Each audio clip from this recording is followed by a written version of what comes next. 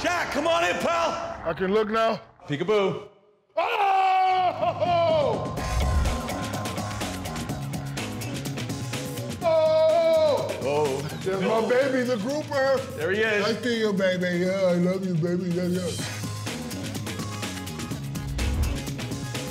Redneck, time to celebrate. Oh, boy. Time to celebrate, Red.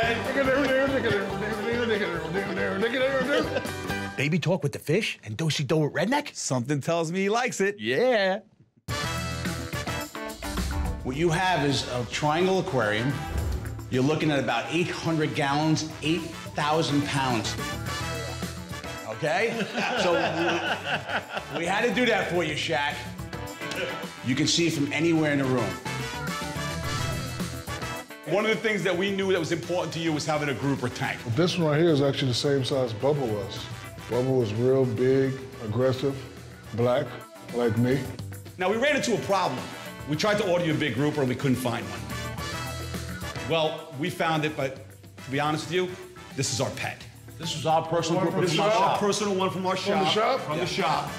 That we actually gave you, bro. It's a oh, Group hug. group, grouper hug. Grouper hug. Grouper hug. All right, all right. I appreciate that. You got three groupers in there. That guy, that's a bumblebee grouper. One thing about most groupers is the way they eat their food is they suck in and it causes like a vortex and it actually sucks the fish into their mouth. These guys are carnivores. They're gonna eat fish. They'll eat shrimp. They'll eat squid. You also have a marble grouper in there.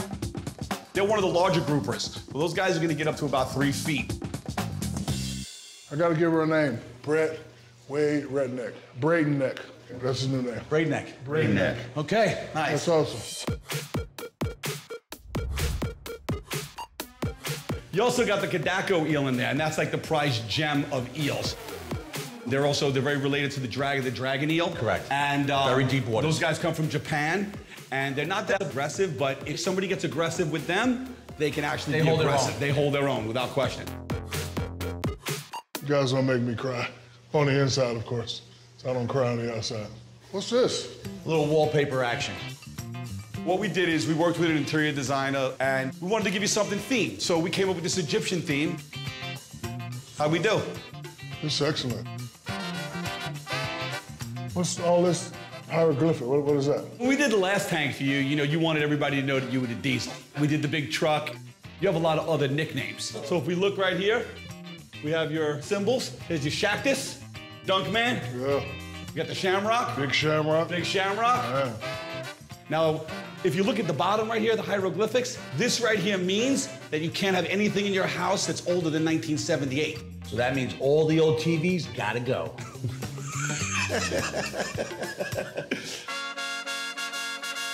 What's this? A custom-made Sphinx to guard your tank.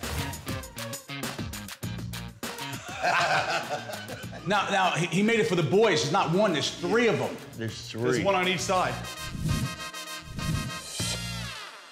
So, what do you think? Do that, redneck. Hands All up. right. Walk like an Egyptian. Stop.